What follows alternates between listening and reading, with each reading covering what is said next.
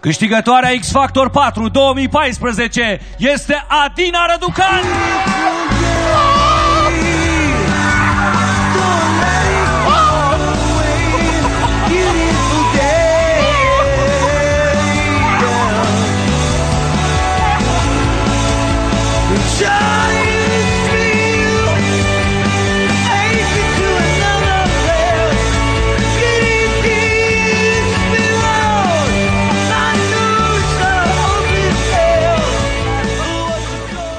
După câștigarea trofeului X Factor și a marelui premiu de 100.000 de euro, pentru Adina Răducan a urmat o bine meritată vacanță, care a ajutat-o să scape de oboseala și stresul acumulate pe parcursul concursului. Uh, finala X Factor a fost plină de emoții pentru mine și uh, eu am sperat să ajung în finală, îmi doream foarte mult să câștig, aveam încredere în mine, însă totuși uh, am trecut și prin niște perioade în acest concurs în care încrederea mea de sine a scăzut așa brusc. Uh, Însă am reușit și am încercat să-mi găsesc uh, forța și puterea de a intra în finală cât de încrezătoare cu putință.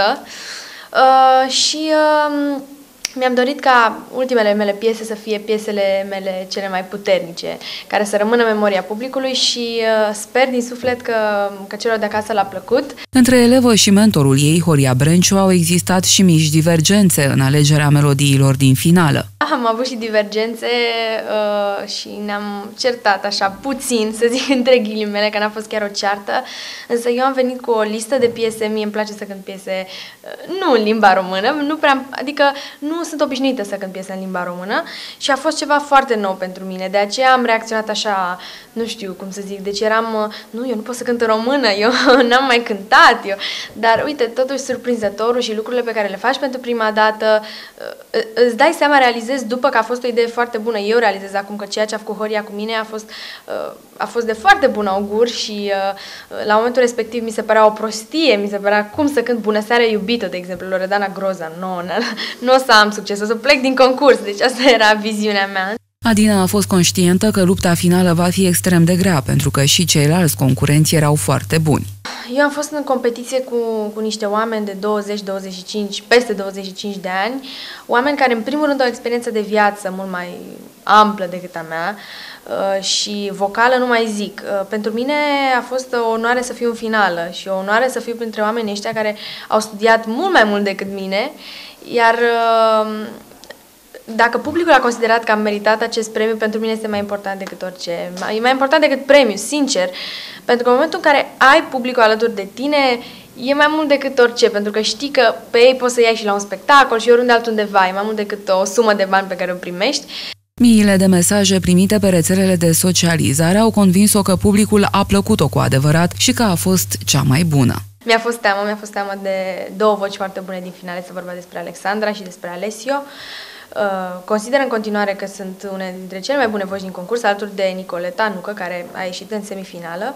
Pentru mine a fost un șoc, dar recunosc că am fost, repet, alături de niște voci foarte, foarte bune în acest concurs și uh, mă bucur că am avut onoarea asta de a, de a concura cu ei și uh, uh, mai mult de atât mă bucur că publicul a avut încredere în mine foarte mult și nu, nu mă așteptam pentru că la 16 ani și eu dacă aș vedea la televizor o fată de 16 ani nu i-aș oferi așa de multă încredere. Câștigarea trofeului este un pas extrem de important pentru viitoarea carieră muzicală a Adinei. E mai important ce se întâmplă de acum înainte, nu doar ce s-a întâmplat în concurs, pentru că trebuie, ca orice câștigător, trebuie să rămâi la un anumit nivel și să nu scazi, adică e foarte important să ai așa o linie constantă. Nu, acum am câștigat și peste o lună nu mai știe nimeni cine sunt. Îmi doresc foarte mult să investesc acești, această sumă pe care am câștigat-o în muzică, nu știu, să pot să-mi continui studiile, să, să studiez și mai mult decât am făcut-o până acum uh, și să pot, uh, nu știu, face piese, spectacole, concerte cât mai multe, astfel încât uh, publicul să mă țină minte.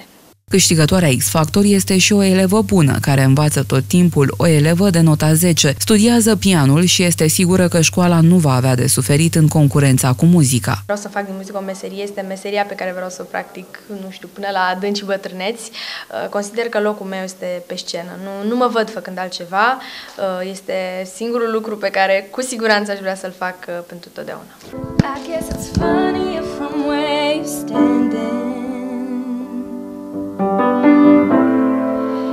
Cause from over here I miss the joke. Cleared away from my crash landing. I've done it again. Another number for your notes.